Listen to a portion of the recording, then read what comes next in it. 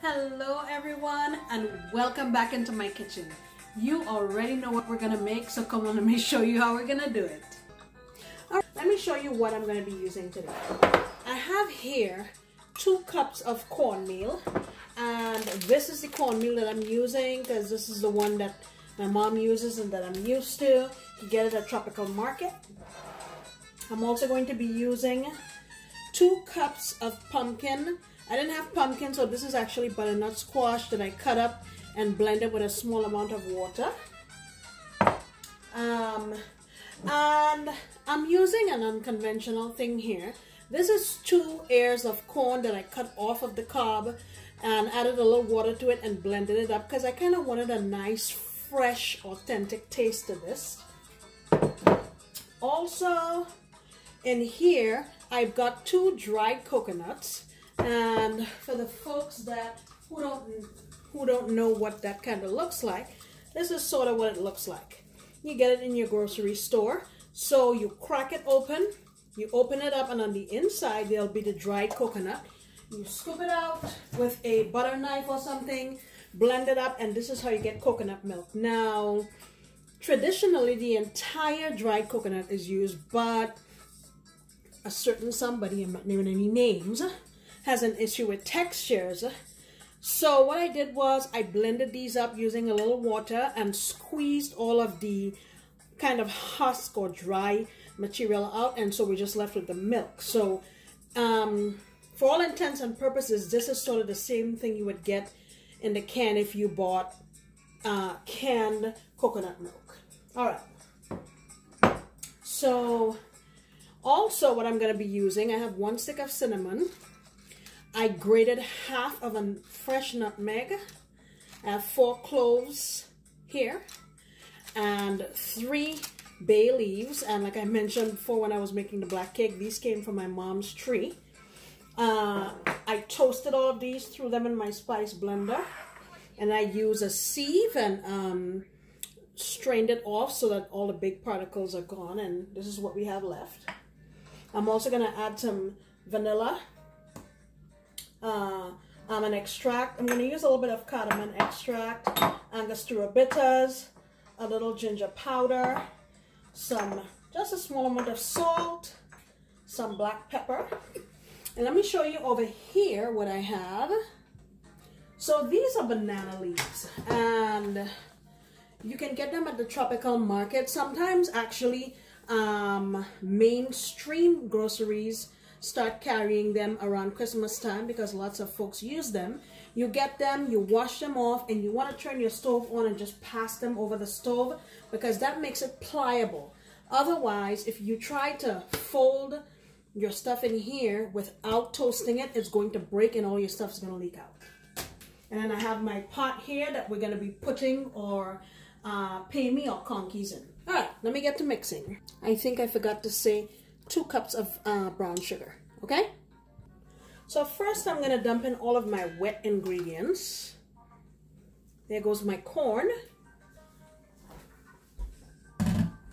Gonna add in my pumpkin or squash. Get all of that in there. I'm gonna go in, I'm actually gonna add my sugar in now. Two cups. We may need more, but what we can do is taste it add in my spices. And let's go in with these. Um, I'm going to say about a half a teaspoon of Angostura bitters. Just about a quarter of a teaspoon of my cardamom extract here. About half of a teaspoon of almond extract. Man, this thing smells like, whoo, wonderful. One tablespoon of vanilla. And we're going with powdered um, ginger. And what I'm going to do is add in about quarter of a teaspoon. All right, let me get this combined nicely. Make sure you can see that. And you can always add more sugar also if you like it, if you like it more sweet. All right, that's nicely combined. Now I'm gonna add about a half of a teaspoon of salt.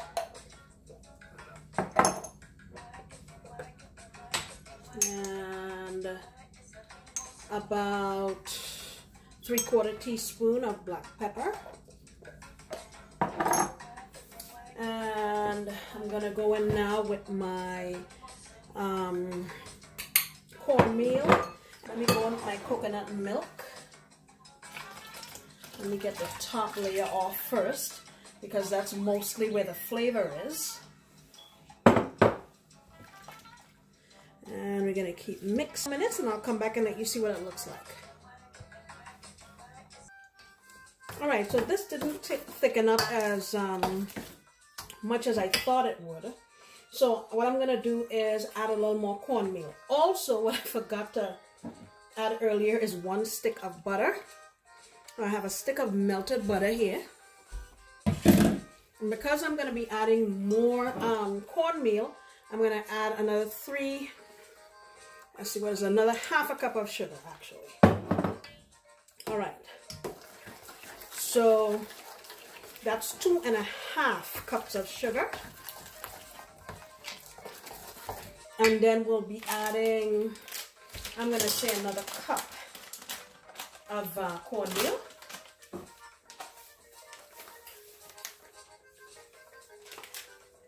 To sit and reabsorb the fluid that we added. And you could have a look at the texture. Okay? So now, you just want to make like a little parcel. You fold it like that. Then you fold the ends in like this. And then you fold this one this way. Basically, that's it. It's simple. Look at that. And then now what you do is, I got some butcher's string here. And tie it like that, turn it over, and tie it like this. And I like to make a little bow just to make it easy for folks to get it undone. But basically that's it. Okay, here we have a little parcel. So what I'll do is continue making those and then move on to the ones with the raisins and get them all set up and I'll show you what's next. All right, so I've done about half a pot and I have a tamale pot but or a pastel pot but it's huge and I don't have that many today. So what I did was I kind of created a bed for them. I put some liquid, some uh, water in my pot here and then I just crumbled up some foil and made a bed because I don't want my, my pastel or my conkies to be swimming in that liquid because in here, and sometimes no matter how great of a job you do, sometimes some of them pop all the more reason why I don't want them swimming in the water. So what I'm going to do is take leftover leaf and I'm going to cover these over here with the leaf because I need to be able to differentiate which ones have raisin and which ones don't.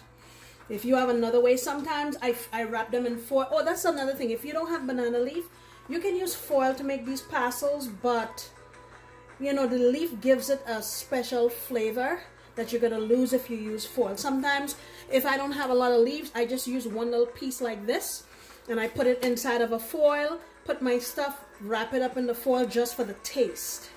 But, alright, so our pay has been going now for about an hour. I just want to make sure that it will cook properly.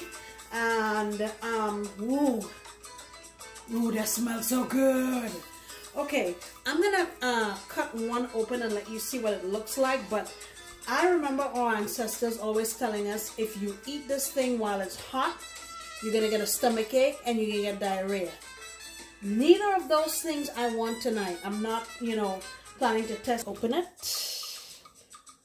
And let you see this. Ooh. Look at this. So I hope you guys try this recipe. I think if you do, you're going to absolutely love it. It reminds me of childhood times and It smells great and I know it's going to taste great. Thank you so much for spending time with me today and I sincerely appreciate you uh, supporting me and coming back every time when I promise to make another delicious recipe. Thank you. Bye-bye. See you next time.